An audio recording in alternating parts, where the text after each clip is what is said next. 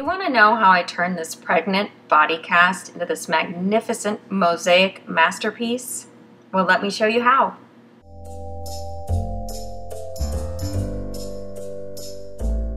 If you would like to purchase a copy of my instructional PDF, I will leave a link in the description box below.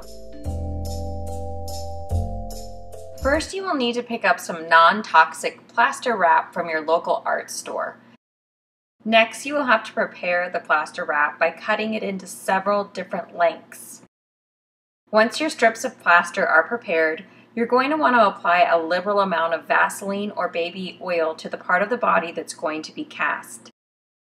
Dip the plaster one strip at a time into a bucket of warm water. When applying the strips, start from the top and move your way down. It is very important to smooth the plaster with your fingers because any lump in the cast will be seen in your final product. Be sure that you are applying three or more layers, especially on the edges. The more plaster wrap, the sturdier your piece will be. Work quickly. The plaster wrap has a very fast dry time. As the plaster dries, you will start to feel the cast pull away from your body. Suck your tummy in and wiggle your way out. Place the cast front side down on a towel and allow it to dry for a good 24 hours before moving on to the next step. Lay your cast on a flat surface to ensure it will hang flush to the wall once hanging. Cut off any edges that may be preventing your piece from hanging correctly. You can purchase these products at your local hardware store. It is very important to purchase the flattest screw that you can find. Place your hardware at least 4 inches from the top of the cast on the flattest surface to allow the washer to lay flush. Place one washer on the front side of your cast and insert your screw. Flip your cast over and place the second washer, the ring hook, and then secure it with a nut. Now you can move on to the next step.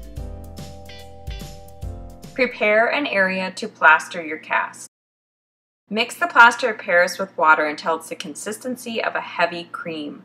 A very thin coat of plaster is all you need to make this piece sturdy and to conceal the hardware. Plaster the front side first and then turn it over and plaster the back side. Allow the piece to dry on the front side down for several hours before moving on to the next step. If there are any small lumps on your cast, smooth them out with some water and your hands. If these lumps still remain the next day, you can use a coarse sandpaper 60 grit to remove them. If you already have a design in mind for your cast, draw that on to your piece with a pencil. Once you're finished, you can start tiling. If you decide that you do not want to tile, you can paint or even decoupage your cast instead. In this case, skip to step 7. You can use tile or stained glass to mosaic your piece. If using stained glass, cut up your pieces with tile cutters. If using tile, place the tile shiny side down and break it up with a hammer. It is very important to stay organized for this step. I like to use these plastic bins to keep my area nice and tidy. Apply a small bead of glue directly to your piece, or you can spread out a thin layer onto a small area. Choose your pieces of tile or stained glass carefully. Place them together like a puzzle piece. Remove any excess glue with a wooden stick. Once the glue has dried, you can prepare an area to grout your piece. Scoop some sanded grout into a cup and add water. Mix this until it comes to a creamy consistency. Then wait 10 minutes before grouting. Wipe the grout onto the cast with a gloved hand. Apply pressure to ensure the grout gets into every crevice. You can dip your hand in a little bit of water if you need to help smooth out the application of the grout.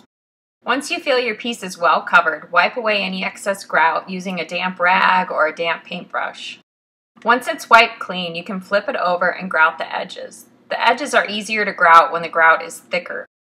Lightly spritz the grout with a spray bottle and wipe the edges smooth with your hand, and then allow the piece to sit for about 20 minutes.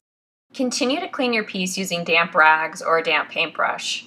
Once the grout has cured, you can even use a coarse scrub brush. Continue to spritz your piece every hour for about 8 hours until the grout has cured.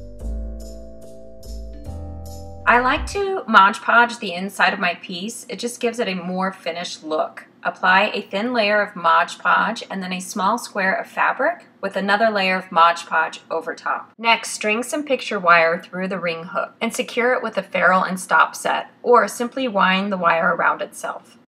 Lastly, you're ready to hang your piece. Use a picture hook that is appropriate for the size and weight of your piece. Wait three days for the grout to cure before hanging.